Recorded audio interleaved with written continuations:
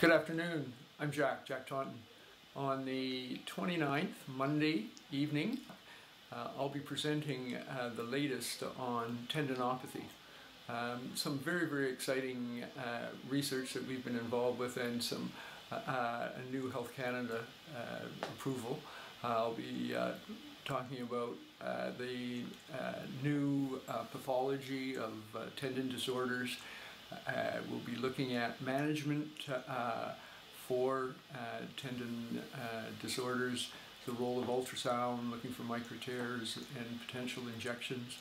Uh, uh, we're gearing this for family physicians, physiotherapists, sports medicine physicians, if they're interested in some of the new and latest, particularly this new study that we're just working on. So please come and join us.